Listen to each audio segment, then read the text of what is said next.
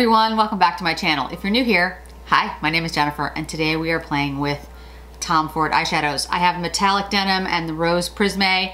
I'm gonna use the metallic denim today, but I'm gonna swatch the rose prisme for you as well. Also, I have another Tom Ford product that I think is similar to the metallic denim. We're gonna find out that I will compare it to. So if you're interested in seeing that, just stay tuned. Uh, hair is back, eyebrows are on. I have the Tom Ford Shade and Illuminate Foundation on in 1.3. We're gonna use the Terra Bronzer today. I think that's gonna look best. Yeah, that definitely looks cool tone to me. Okay, so I have two um, Tom Ford bronzers. I have Gold Dust and Terra. Terra is the one that I wear, you know, pretty much all the time. It's a really good bronzer for me. If you are pale skinned and you like a cool bronzer, this is my absolute favorite. The formula is good. It's really smooth, works really well. It's not um, overly pigmented. It's not overly bronze. So if you like a very bronze look, it's not gonna be your thing. Um, you can definitely build it up and you can also use it as more of like a contour and then put like a bronze shade over it. Um, lots of people have, you know, different steps to their bronzer routine and use something like this and then go in with something bronzier on top of it. And that's totally whatever, you know, you like to do. Okay, blush. We're gonna use the Shade and Illuminate blush. Sorry that it's not out yet. I don't know what to tell you. It was supposed to be out at the beginning of August. Well, first it was supposed to be out like end of June, then it was the beginning of August. I don't know what's happening. I really don't. Um, I don't. So this is the KZ02 Chikuhodo brush. I'm using uh, Brazen Rose. I'm gonna mix the shades today. Yeah, I mean, and I haven't heard anything. Like I haven't heard an, up, an update, nothing. So I don't know. I don't know what's happening. It's very strange, but I will say, you know, I get it if by the time these come out, you're just blushed out and you don't want to get them. I mean, I would get that, but it is a really beautiful formula. I think the shades are very pretty. I think he did a really good job with it. I don't, could not for the life of me understand what's happening. It could be a supply chain issue. I mean, I guess that's a possibility. I don't know. I don't know what's going on over there. Um, all right, so we're also gonna take, moving things around here. This is the Moodlight. It's a powder duo, skin illuminating duo. And we're gonna take the highlighting shade, the, well, they're both like highlighting, but I'm gonna use the lighter shade. Just put this up here. I like this for a very light, um, subdued highlight. Okay, so we've got foundation on, we've got blush on, bronzer, a little bit of highlight. Let's move to swatches. So let's actually swatch the Rose Prisme first, just so you guys can see it. I will have a video with this. It's really pretty. Um, it's not really my color story. It's not the one that I would gravitate to, but I think it's gonna look nice on the eye. I hope it will look nice on the eye. Definitely looks like different shades almost of rose. Very pretty, uh, light look. And then we have, um, and before I swatch it, I'll show you the uh, metallic denim. My understanding is this is the wet dry formula and that these can be used to be more intense, both these quads. And so I will use a little bit of um, the wet application with metallic denim today so we can see that. All right, so let's take a look at the Rose Prisme. Yes, definitely a light color story. If you hear trick trotting around, that's my dog, Bailey. He decided he didn't want to be on the bed. I don't know why. And cried until he was let off the bed. And now he's just sort of trick trotting around.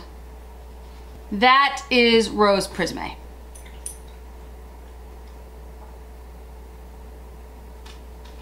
Very pretty. I mean, like I said, it's light though. This is the, the deepest shade in it. That doesn't mean it's gonna be bad. It just means that it's gonna be, you know, a light color story. Okay, and then the metallic denim which looks, to me, very different from Rose Prisme. Um, the first shade is basically a topper. Oh, that's a pretty shade. Now you know the shade I'm gonna want, like I'm gonna gravitate to is the blues, which is the reason I, you know, immediately wanted this palette the minute I saw it. Okay, that's metallic denim.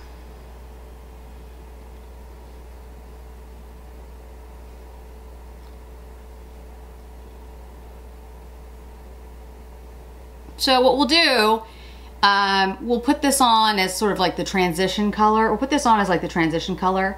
We'll put this on the eyelid because it's the most outstanding shade. Don't get me wrong, I think we could do lots of different looks with this. Um, and we'll try to use this as more of like an accent, the deep black. It's, it's like a gray with sparkle. It looks very pretty. It also looks to me like it's gonna have fallout, but you know, we'll see. All right, let me pull you in a little bit closer before we start the eye look. I do have some swatches to compare this to in another Tom Ford, but we'll get to that. Let's see. I have one eyebrow doing weird things today. I don't know. I don't know what, the, I don't know what that's about. like, really? It's... Okay. Why? Just why? You have days like that where just your brows don't work? That's why I want to get them microbladed. September 10th, I think is my date that I'm going to get them done. You'll get to see them in all their glory. They're gonna look really ridiculous at first, but that's just how it goes. All right, so we're gonna take the classic crease brush. We're gonna use that really pretty taupey, shimmery shade. There is no matte in here. Um, so if you're looking for a matte, there isn't one. That's not necessarily a problem um, unless you like, you know, being able to ground something um, in a matte shade. And if you do, you can absolutely pull a matte out of practically any, um, you know, formula, quad, palette that would work with this. I would choose something pretty neutral, but you can do whatever you wanted. Uh, I am going above the crease here a little bit and just going back and forth. You can see for yourself um, because what I'm doing is I want to kind of create a little bit of space, more space for the blue. And I want, when I put the blue on the lid, I'm gonna put the blue all the way up into the crease.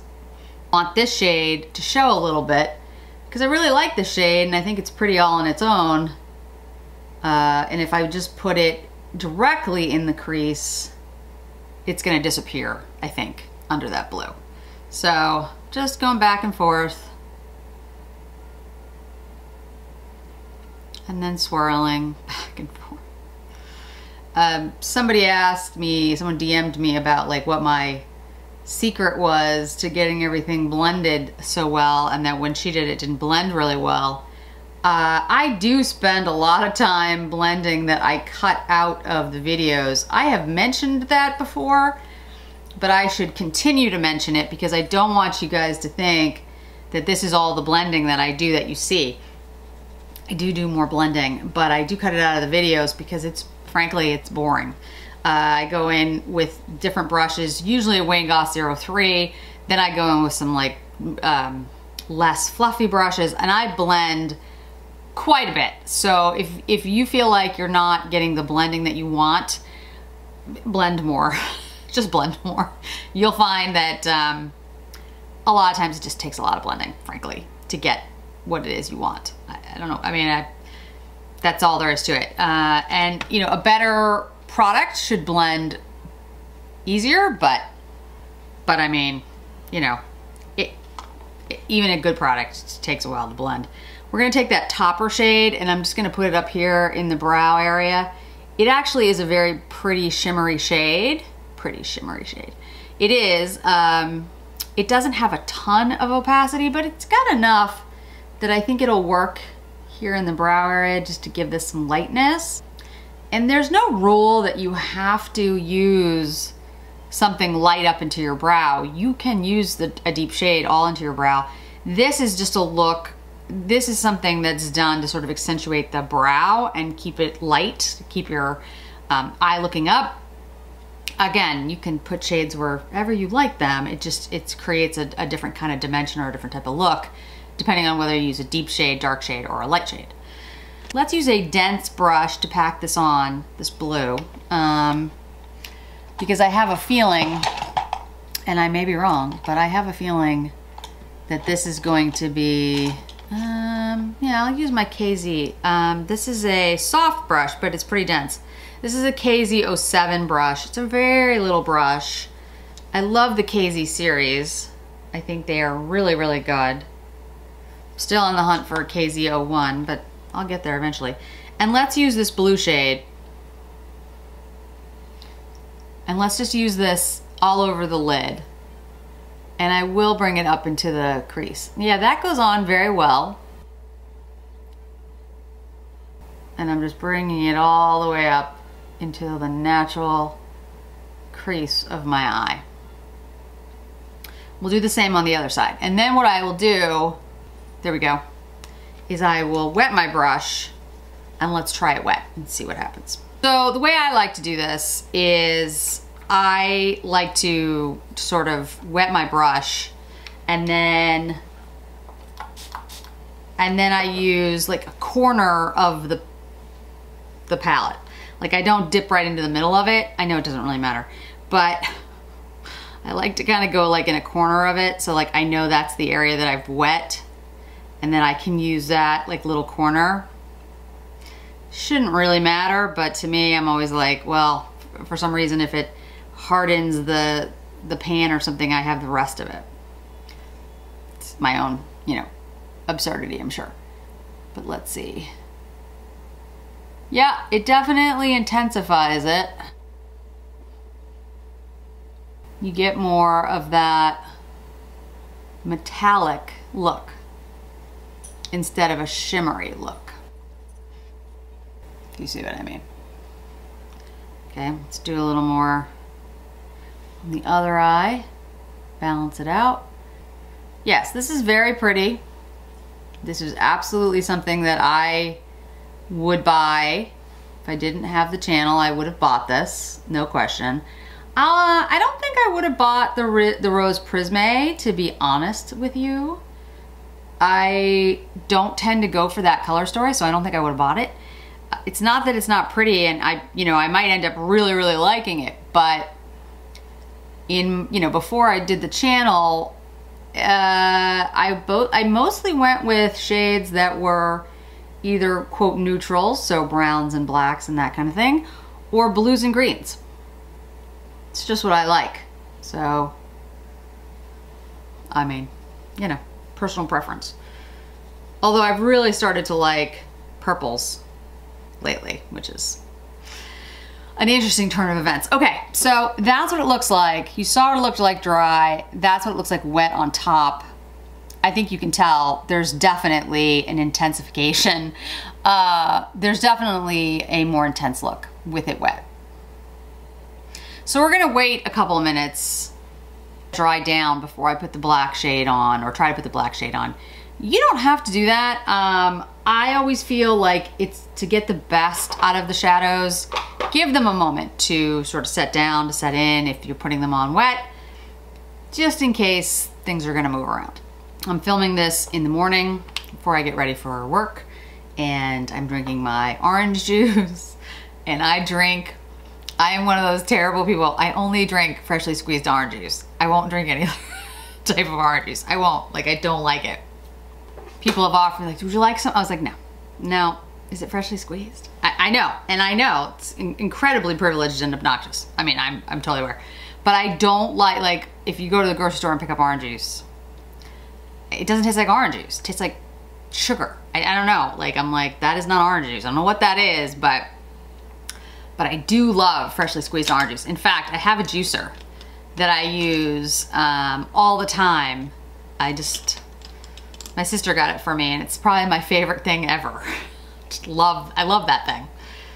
I never, I never thought I'd be one of those people, but I am, I am one of those people. Okay, uh, let's use a, a, very small, in fact, I, I, know what I'll use. I'll use, this is the uh, one I use for the brows. It's a Chikuhodo uh, F07 brush. It's a very small crease brush, rounded brush, domed brush.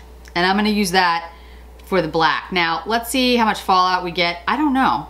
I mean, I actually didn't get a lot of fallout with the blue when I put it on dry, if any, a little bit, very little. Um, let's try this, this dry first. Okay, I mean, not so far. Nope. Very intense shade. Like, okay, a little bit of fallout there. I would just say if you're using these shades, expect some fallout. I mean, it's, you know, a black sparkly shade, so I don't think you're gonna get away with not having some, okay. Wow, that's an intense look. I will say that. Very intense. Okay. I'm gonna blend it a little. That black kind of blended into the blue because the blue is so intense. You don't see much difference with the black over that blue. It's interesting. I mean, it definitely intensified it, but the blue is so deep um, because I put it on wet that you don't see a huge difference between the two shades. Now you see the fallout after I blended it, but I'll clean that up. Um, okay, so let me clean it up actually first, and then I'm gonna I'm gonna use the black wet as a liner, and we'll see how that works. All right, so let's spray. Let's use the Rephr 03 brush, tiny little brush. I think this is gonna be a really pretty um, quad to use. Wow, that's intense. Okay. I'm gonna use the black just on the outer corner and then I'll use the blue. As I was saying before I got like thrown off by how deep that black is, I think this is gonna be a really pretty, I'm just going over the uh, upper lash line with it. I think this is gonna be a really pretty um, quint to use for the holidays. Like I could see this sparkly black as like a really intense eye look for the holidays. I think would be stunning. All right, I'm gonna use the blue. I'm not gonna wet it. I'm just gonna use it to go over this a little on the lower lash line. Yeah, that's an intense look, no doubt, but it's beautiful. I mean, it's really nice. Um, all right, so I'm gonna take a little bit of what I'm considering the topper shade, that like goldy shade, and I'm just gonna put like the tiniest amount on the lid, and I'm not gonna buff it in. And then I'll show you. It's, I have to say, I love this more than I thought. I mean, I knew I was gonna like it because of the colors, but wow. Come on. That is stunning. It's just beautiful. This is what Tom Ford used to be. Sorry. It's not that, I mean, obviously it's what Tom Ford is now. It's just late. Anyway, I won't get into it. this is good. This is a really good quad. Okay, let me, um, let me curl my lashes, put on some mascara, and then we'll figure out a shade. I, I think I know what shade of lipstick I want to go with this. I think I want to keep it pretty neutral, but let me curl my lashes and put on mascara first. Okay, so we've got mascara on. I I said this about the Nightbird, the Dior Nightbird, and I'm gonna say about this. I absolutely love this. Now there are some similarities between those two, blues, greens, that kind of thing. But this is a really intense, beautiful quad. I will say that, of course, it's more uh, intense because I use that blue wet and then I use the black wet for liner. But I, I do think it would look, you know, stunning without it being intensified. But I, I do think it looks really pretty like this. Um, a great, in my opinion, great holiday look, a great evening out look. It's gonna probably be a little intense on my Zoom calls today. But you know what? They're just gonna have to deal. Uh, So I'm gonna pair it with Sugar Glider. Sugar Glider is a shade from Tom Ford that I've used for quite some time. It's a cool shade. It, it has almost like a, a lilac-y kind of shade, but when you put it on the lips, it just looks more like a shimmer on me. So we'll put that on and uh, finish up the look, and then I'll show you some swatches of another Tom Ford that I think may have at least a similar color story to um, the denim. Okay, Sugar Glider is on. Sometimes I use this with um, like a brownier pencil. I think for now I'm just gonna leave it. It does have this like lilac-y kind of shade, but unlike the um, 004 pencil that I use from Dior, it doesn't have a gray undertone on me. It, it just is more of like a light pink. And as it settles into my face, frankly, throughout the day, it just kind of gives like a sparkle, which I do like. Uh, I like like something like this when I do a strong eye. Natasha Denona's I Need a Nudes are also great. There's a bunch of shades in there that I think work really well. I just decided to go with this one because, you know, Tom Ford and using Tom Ford.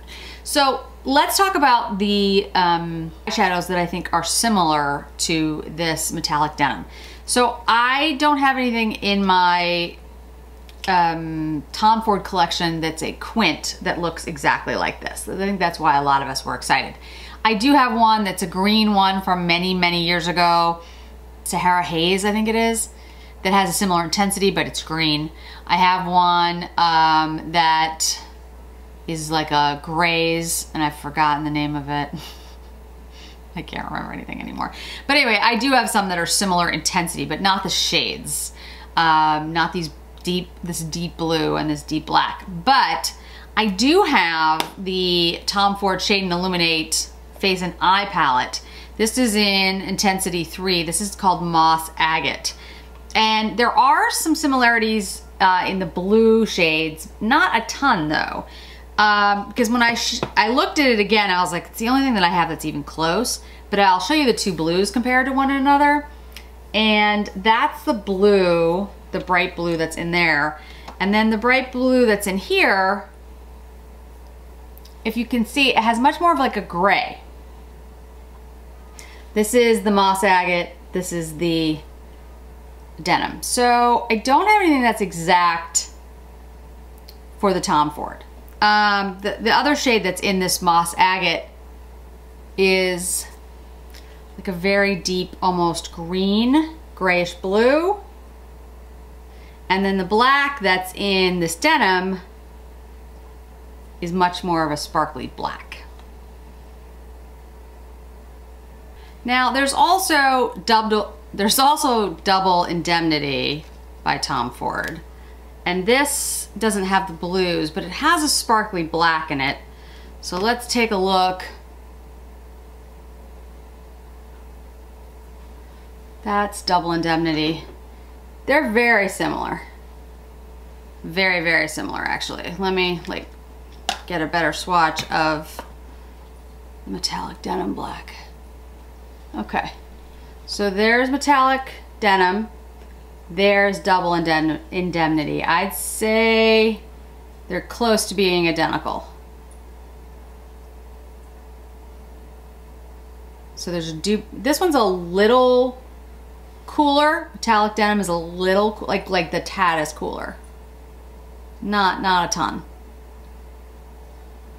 But those blacks are very very similar. So you, you do have a dupe for the black. The blue, I don't see it in my Tom Ford, but let's pull out Dior. This is um, Black Knight, which I think is gonna be kind of similar, and Denim.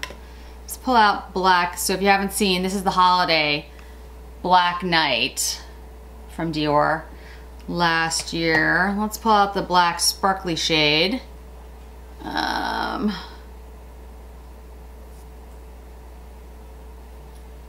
so it doesn't have as much sparkle actually, and it's more satiny. Darker shade, more satiny. And then the blue in here, yeah, definitely more deep leaning, more gray. This is the blue, and I'll, I'll double swatch it so you can see it better. This is the blue from the Tom Ford.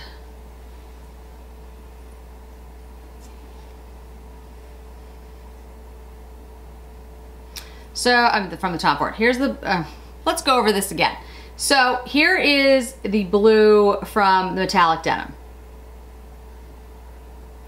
Here is the black sparkly shade from metallic denim. Here it is from Double Indemnity. And then here's the Dior Black Knight. Here's the Dior blue shade from Black Knight. And then this is the blue shade from the Shade and Illuminate Moss Agate right here. And then this is the, the black shade that's in there. So these are, these two shades right here are the new ones. Those are the metallic denim. And the black is very, very similar to Double Indemnity. But this blue, none of those look like it. So let's try the denim quad from Dior, Quint from Dior. Um, the only one that I think is gonna be, let's try, let's try this one. No, that looks more like the one from the Shade and Illuminate. Mm, let's try this one. Nope, that one's greener. So, yeah, I don't have anything exactly like this shade in Tom Ford or Dior. I'll have to take a look at some other palettes that I have, because I have a lot. Natasha Denona's blues might have something similar.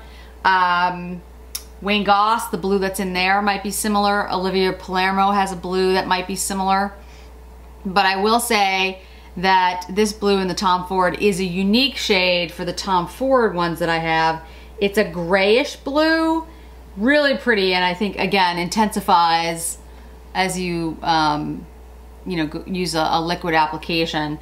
The, the black, though, it is, to me, I would say on the eye, definitely, a dupe uh, is in double indemnity. So overall, as I've said, I love I love this quad. I think it's stunning. Uh, I'm happy about the way it works. The formula is my favorite. I love the shades. I think, it, you know, it went on extremely well. I, I have nothing bad to say about it. It's gorgeous. I love these shades being in here because it can lighten up the look. I also think they're good transitions. I don't need a matte with it. I'm fine without the matte. And I will actually, like this shade right here, I think is gonna be a great shade. I really think that's a beautiful shade for like an all over look. So I might even use like these two shades, just the brown and this black, um, cause I think that would be really nice. I just think it's a really, really good quad and I'm so glad I was actually finally able to pick it up. I know it is available on Sephora, still available on Nordstrom, I'm not absolutely positive of that, so I wanna be careful what I say. But uh, so hopefully you guys can pick it up if you're interested. I think you can do a light look with it too. I did a video last year about the um, Black Knight from Dior because it's a very intense look. And I did a light look with it. You can absolutely go in light with these shades. You don't have to make it this intense. But I figured since I had it, why not, right? I mean, why not just really use it to its capacity? And I think it did an amazing job. So I'm off to do my Zoom calls with my intense eye look. And uh, we'll see how that goes. Thanks so much for joining me today, guys. I really do appreciate it. And I hope to see you in another video really soon. Bye.